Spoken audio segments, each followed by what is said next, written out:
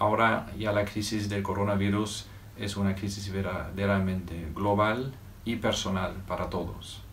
Todos ya conocemos algún amigo, algún familiar que ha cogido el virus y que está sufriendo sus consecuencias negativas. También es un momento para agradecer a todos los servicios críticos que hacen, que dan en la sociedad. El personal sanitario, las personas que nos dan de comer, seguridad y todos los demás servicios críticos en la sociedad. También es un momento en que la crisis se está convirtiendo en una crisis económica. Ya vemos eh, dificultades en, en empresas y es el momento para que los gobiernos tomen las medidas para que las empresas puedan mantener los puestos de trabajo.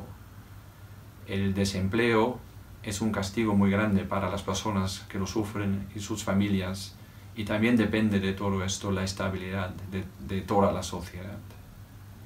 Es un momento también de vivir la solidaridad y el espíritu de servicio. La misión del IESE menciona el espíritu de servicio como una de las características importantes de un buen liderazgo. Estoy muy contento por los ejemplos que veo de todas las personas que en este momento sirven a los demás en la sociedad. Nosotros estamos publicando historias de antiguos alumnos por nuestro canal Twitter que hablan justamente de esto. Y animo a todos para que en su familia, en su organización y en la sociedad en su conjunto vean cómo pueden con su trabajo, con sus actividades, ayudar a los demás.